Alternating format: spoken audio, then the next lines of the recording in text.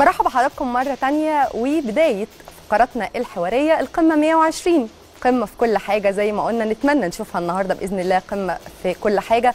في الحقيقة هي قمة فضيوفي كمان قمة. في داخل المستطيل الأخضر منورني النهاردة في الاستديو كابتن كريم ذكري نجم نادي الزمالك السابق والكابتن عبد الله فاروق نجم نادي الأهلي السابق. مساء الفل. مساء الفل ازيك يا كابتن كريم. الحمد ازيك لله كابتن تمام. عبد الله اخباركم إيه؟ كله الحمد لله تمام تمام ربنا قمة 120 تتمنى تشوفها قمة في كل حاجة؟ آه طبعا. يعني رقم واحد آه، نفسنا تبقى قمة في الأخلاق. آه، شايف كنت بتتكلمي على الممر الشرف اللي هيتعمل لمؤمن. مؤمن لعب في الزمالك ولعب للأهلي. يمكن في وقت من الأوقات كان جماهير الزمالك زعلانة من مؤمن انه راح للنادي الأهلي لكن النهارده ممكن الاثنين يتحدوا مع بعض.